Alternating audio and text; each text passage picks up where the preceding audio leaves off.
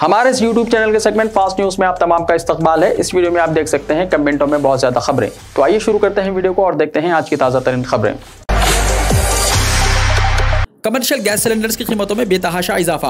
Commercial gas cylinders की कीमतों में बेतहाशा इजाफा कर दिया गया है। सरकारी तेल कंपनियों ने एलपीजी गैस सिलेंडर्स की कीमत में ढाई सौ रुपए का इजाफा कर दिया है। तहम यह इजाफा 19 किलोग्राम कमर्शियल सिलेंडर्स पर किया गया है। कमर्शियल सिलेंडर की कीमत में दो सौ पचास रुपए के इजाफे के बाद यही सिलेंडर अब कोलकाता में दो हज़ार तीन सौ इक्यावन रुपए मुंबई में दो हज़ार दो सौ पाँच रुपए और चेन्नई में दो हज़ार चार सौ छह रुपए का हो गया है। इससे पहले एक मार्च दो हज़ार बाईस को हुकूमत ने कमर्शियल सिलेंडर के दामों में एक सौ पाँच रुपए का इजाफा किया था, जबकि बाईस मार्च को जब हुकूमत ने घरेलू गैस सिलेंडर की कीमतों में इजाफा किया था।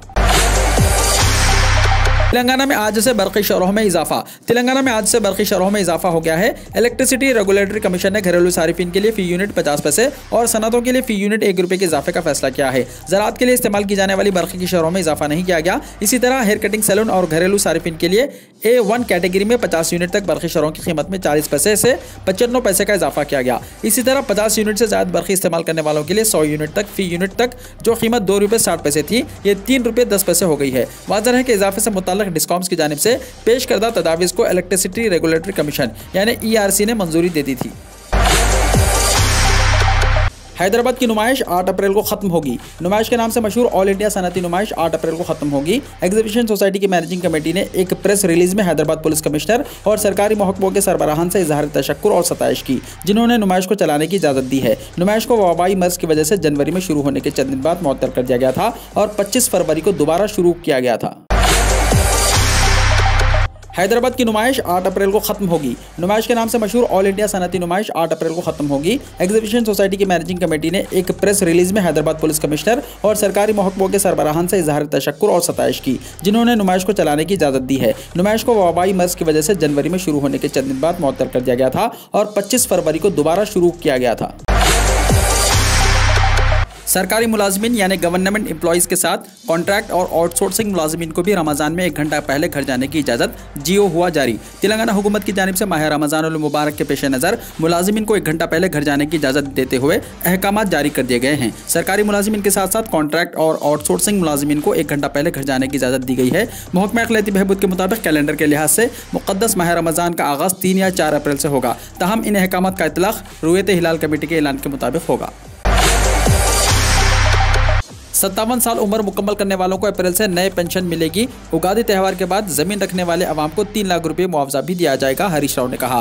रियासती वज़ीर फाइनेंस टी हरीश राव ने कहा कि रियासत में सत्तावन साल उम्र मुकम्मल करने वाले तमाम अहले अफराद को अप्रैल के महीने में हुकूमत आसरा पेंशन मंजूर करेगी और फ़र्स्ट मई से अहले अफराद को बैंक खातों में पेंशन जमा किए जाएँगे। ज़िले सिद्दीपेट, नंगुगुर मंडल के नरमट्टा मौजा में प्लास्टिक के इस्तेमाल को घटाने के सिलसिले में सेल्फ हेल्प ग्रुप्स के जेर एहतमाम कायम किए गए। स्टील बैंक का आगाज़ करते हुए इन ख्याल का उन्होंने इजहार किया। इस मौके पर खिताब करते हुए हरीश राव ने कहा कि टीआरएस ने अपने इंतबी मंशूर में सत्तावन साल मुकम्मल करने वाले गरीब अफराद को आसरा पेंशन मंजूर करने का वायदा किया था। चीफ मिनिस्टर केसीआर ने इस वायदे की तकमील कर दी है। बजट में भी इसके लिए रकमी मंजूरी दी गई है। तेलंगाना में टीआरएस हुकूमत एक तरफ़ वादों को निभा रही है तो दूसरी तरफ़ जो वायदे नहीं किए गए हैं, अवामी ज़रूरतों को महसूस करते हुए इन्हें भी पूरा किया जा रहा है। हरीश राव ने कहा कि आइंदा हफ़्ते दस दिन में आभय हस्तम इस्तफादा कुनिंदगान के फंड्स को हुकूमत सूद के साथ अदा करेगी। इसके अलावा उगादी त्यौहार के बाद जाती, ज़मीन रखने वाले गरीब आवाम को मकानात की तमीरत के लिए तीन अकसात में तीन लाख रुपए का मुआवजा भी अदा किया जाएगा। तेलंगाना आरटीसी ने इन अफराद को उगादी के दिन मुफ़्त सफ़र की सहूलत का ऐलान किया। तेलंगाना आरटीसी के managing director V C Sajjanar ने 2 अप्रैल को उगादी के मौके पर पैंसठ साल उम्र पार करने वाले हर शख्स को आरटीसी बस में एक दिन मुफ़्त सफ़र की सहूलत फराहम करने का ऐलान किया है। उन्होंने कहा कि पैंसठ साल उम्र तक तकमील करने वाले सीनियर सिटीजन अपनी उम्र का कोई सबूत पेश करते हुए मुफ़्त बस में सफ़र कर सकते हैं। वाजह है कि आरटीसी ने योम खातन और योम अतफाल के मौके पर भी खातन और बच्चों को एक दिन मुफ़्त सफ़र की सहूलत फराहम की थी। तेलंगाना में गर्मी की शिद्दत में ज़बरदस्त इजाफा छः अजला के लिए ऑरेंज अलर्ट हुआ जारी। तेलंगाना में गर्मी की शिद्दत में रोज़ बरोज़ इजाफा होता जा रहा है। रियासत के छः अजला, आदिलाबाद, आसिफाबाद, निर्मल, जगत्याल, निज़ामाबाद मंचरियाल में महकमा मौसमियात ने ऑरेंज अलर्ट जारी किया है। डायरेक्टर महकमा सेहत आमा श्रीनिवास राव ने मीडिया से बात करते हुए कहा कि इन छः अजला समेत भदादरी कोत्तागुड़म खम्मम हैदराबाद में दर्ज हरारत चालीस डिग्री से तजावज़ कर गया है। उन्होंने मशवरा दिया है कि दोपहर में बारह से चार बजे शाम तक घरों से निकलने से परहेज किया जाए और आवाम धूप की शिद्दत की मुनासिबत से अपना रोज़ाना का टाइम टाइम टेबल बनाएँ। उन्होंने कहा है कि जबान खुश्क होने, होठों के सूखने, सुस्ती, सरदर्द, मतली, सीने में जलन और पेशाब में बेजाबगी से मुतासर अफराद को फौरी हॉस्पिटल से रुजू होना चाहिए। उनके लिए बेहतर हवा को यकीनी बनाया जाए। उन्होंने ट्रैफ़िक पुलिस, सहाफियों और डॉक्टर्स को चौकस रहने का भी मशवरा दिया। उन्होंने कहा कि लू लगने वालों को फौरी छाव में लाया जाए और आधे घंटे तक इनमें अलामत कम न होने पर फौरी हॉस्पिटल से रुजू किया जाए। 24 अप्रैल से तेलंगाना के स्कूलों को गर्माई तातीलत होंगी। तेलंगाना स्कूल एजुकेशन डिपार्टमेंट ने तेलंगाना के तमाम स्कूलों को 24 अप्रैल से गर्मियों की तातीलत का ऐलान किया है। इसके अलावा महकमे तालीमत ने पहले से ऐलान करदा इम्तहान के शेड्यूल में तब्दीली कर दी है। फ़र्स्ट क्लास से नाइन्थ क्लास तक के एग्ज़ाम्स सोलह अप्रैल से बाईस अप्रैल तक मुनद होंगे। तेईस अप्रैल को रिज़ल्ट जारी कर दिए जाएँगे। चौबीस अप्रैल से स्कूल को गर्माई तातीलत होंगी। तेईस अप्रैल काम का आखिरी दिन होगा। मास्क पहनना अवाम की मर्ज़ी, director medical and health Telangana ने कहा। Director of medical and health Telangana, doctor Srinivas Rao ने कहा कि मरकजी हुकूमत ने कोरोना की पाबंदियों को खत्म कर दिया है। हमें पिछले दो सालों से कोरोना से बहुत परेशानी हुई। मास्क पहनना किसी हद तक गैर आरामदेह समझा जाता था। इसलिए अब मास्क पहनना है या नहीं, ये हर शख्स की मर्ज़ी पर मुनसर है। ताहम उन्होंने राय दी है कि मास्क पहनना और जिसमानी फासले पर अमल करना बेहतर है, क्योंकि कोरोना का खतरा मुकम्मल तौर पर अभी खत्म नहीं हुआ है। बूढ़े और बीमार लोगों को मास्क पहनने की ज़रूरत है। खासतौर पर हॉस्पिटल जाते वक्त मास्क का इस्तेमाल करना चाहिए। उन्होंने भीड़ में जाने वालों को भी मास्क पहनने का मशवरा दिया। डॉक्टर श्रीनिवास ने बताया कि मास्क न पहनने पर एक हज़ार रुपए का जुर्माना जारी रहेगा, लेकिन पुलिस को इस मामले को नजरअंदाज करना चाहिए। उन्होंने कहा कि इस वक्त रियासत में चालीस कोरोना केसेस रिपोर्ट हो रहे हैं और बीस अजला में एक भी केस रिपोर्ट नहीं हुआ। उन्होंने कहा कि छह अजला में रोज़ाना एक केस दर्ज हो रहे हैं और जीएचएमसी में बीस केस दर्ज हो रहे हैं। पैन कार्ड को आधार से लिंक करने की तारीख बढ़ा दी गई है। मरकजी वजारत फाइनेंस ने पैन कार्ड को आधार कार्ड से लिंक करने की तारीख में एक बार फिर तोसी कर दी है।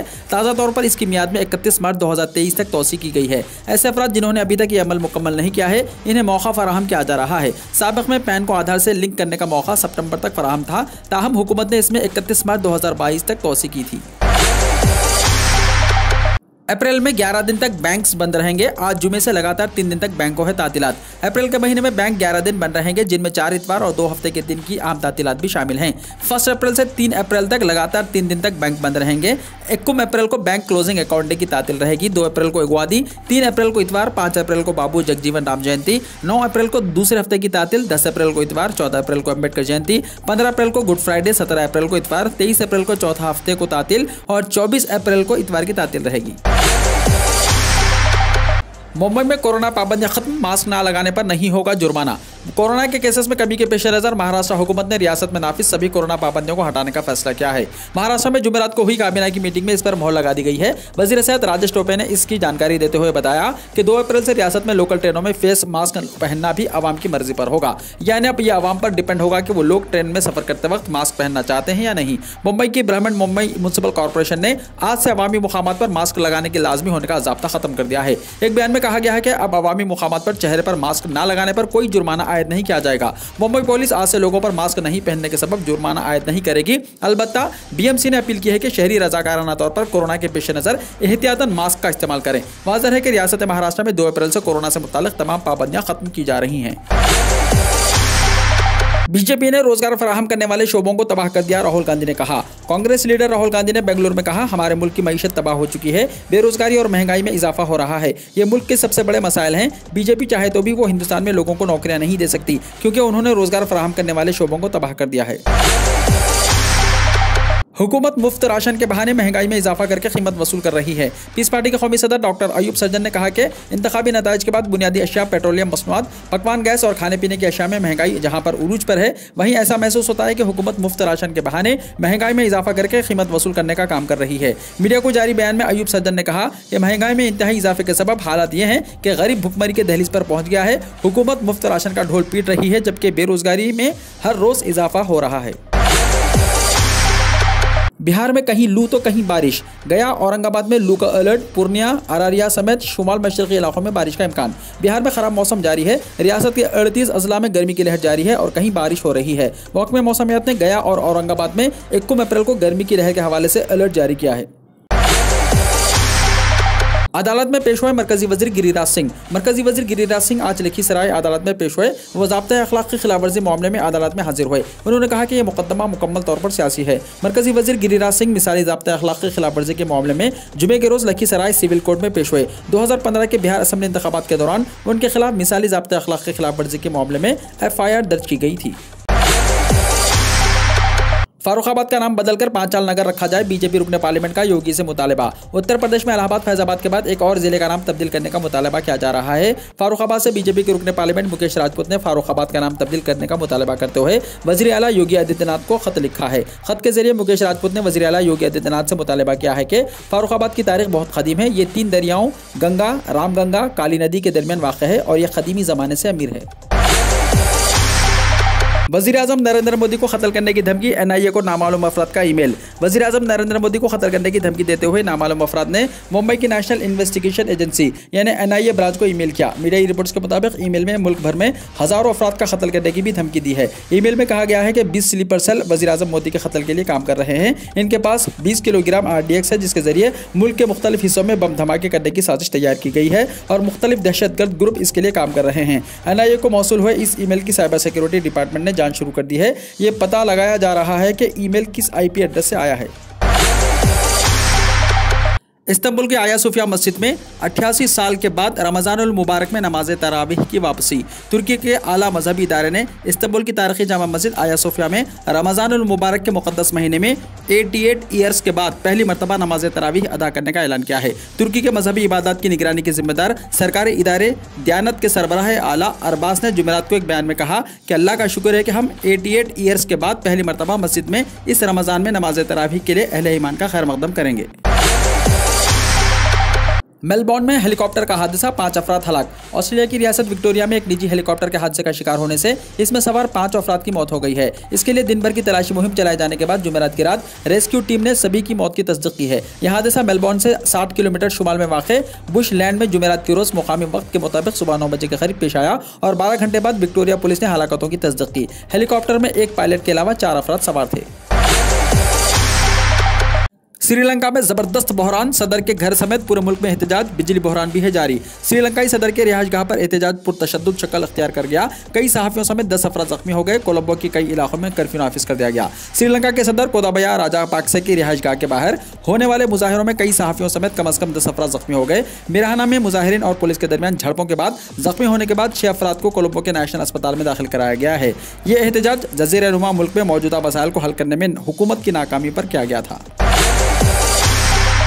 यूक्रेन ने रूस पर फिजाई हमला किया, तेल के डिपो पर रॉकेट बरसाए। यूक्रेन और रूस के दरमियान जंग थमने के बजाय शिद्दत अख्तियार करती दिखाई दे रही है। रूस ने यूक्रेन पर अपने मुल्क पर हमले का इल्ज़ाम लगाया है। रूस का इल्ज़ाम है कि यूक्रेन ने इसकी सरहद के अंदर पच्चीस मील अंदर आकर तेल के डिपो पर हमला किया। रूस का यह दावा ऐसे वक्त में सामने आया है, जब माहरीन ने चंद रोज पहले कहा था कि वो दिखावे के तौर पर अपने ही इलाकों पर कुछ हमले कर सकता है और यूक्रेन पर इल्ज़ाम लगा सकता है। रूसी एहलकार यागुसुला गोफ ने कहा कि यह हमला यूक्रेन के दो फौजी हेलीकॉप्टरों से किया गया।